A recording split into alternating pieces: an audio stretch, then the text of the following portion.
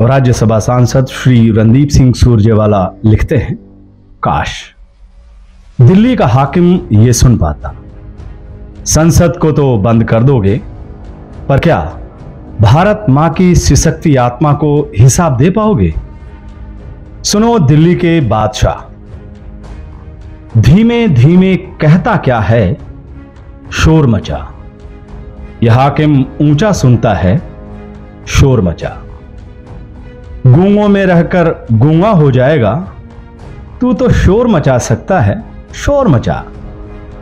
खामोशी बदशगुनी लेकर आती है, शोर बड़ा अच्छा होता है, शोर मचा।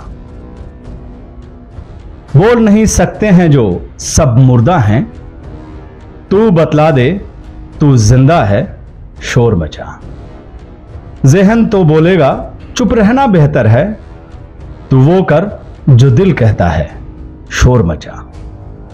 दस्तक से जब हक का दरवाज़ा ना खुले, शोर मचाने से खुलता है, शोर मचा। धीमे धीमे कहता क्या है, शोर मचा। यह हाकिम ऊँचा सुनता है, शोर मचा।